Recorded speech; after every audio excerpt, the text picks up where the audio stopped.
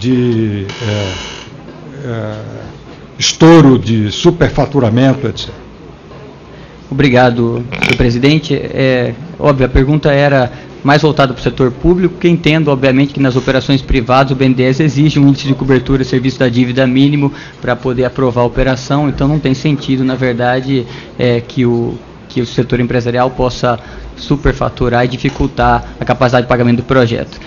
É, a segunda pergunta é mais uma reflexão é, com Vossa Senhoria sobre a situação atual econômica do Brasil, é, a situação que atinge empresas importantes do setor de infraestrutura no do Brasil e o papel do BNDES neste momento do Brasil.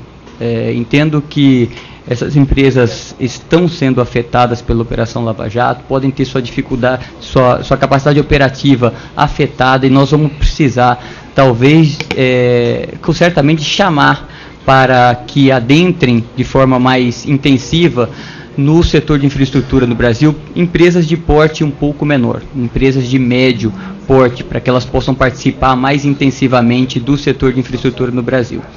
É, os requisitos de financiamento é, existentes hoje no BNDES para empresas de médio porte, principalmente quando a gente fala de operações estruturadas é, no setor de infraestrutura, operações de project finance a longo prazo, eles é, são, são exigências bastante duras, vamos dizer assim, né?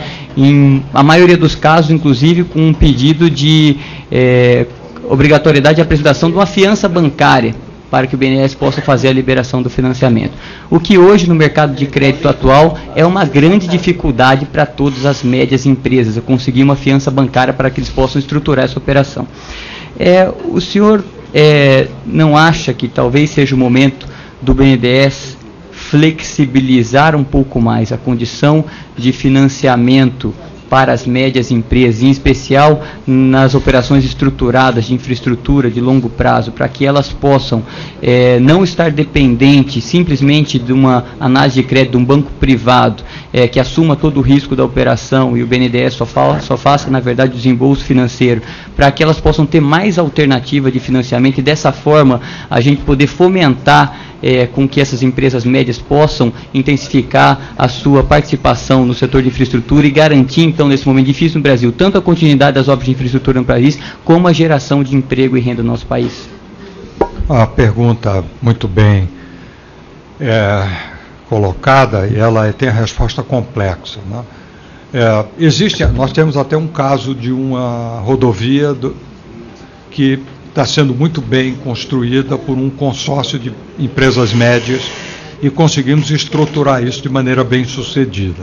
E gostaríamos de repetir essa experiência. Tá? Uh, acredito que o, o, marco regulatório brasileiro precisa melhorar uh, e uh, estamos em discussão com algumas das agências reguladoras de maneira a fortalecer o contrato e especialmente certas provisões no contrato para imprevistos, de maneira a facilitar eventual reequilíbrio econômico de contratos.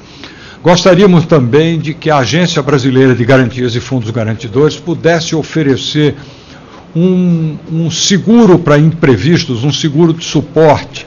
Né? Temos discutido essa agenda com o Ministério da Fazenda. Né? e nós temos interesse em fortalecer a, as empresas médias para que elas possam é, ocupar esses seus espaços. É, podemos trabalhar é, com é, consórcios, estamos também é, trabalhando para mobilizar mais bancos ah, na oferta de garantias a empréstimos ponte, porque em geral a fiança bancária do qual Vossa Excelência fez referência é relativa aos empréstimos ponte nós estamos trabalhando, deputado, e é, eu vejo que o deputado está bastante bem informado sobre essa temática e temos, é, teremos interesse em aprofundar. Acho que essa é uma agenda muito relevante para o país. Obrigado, presidente. presidente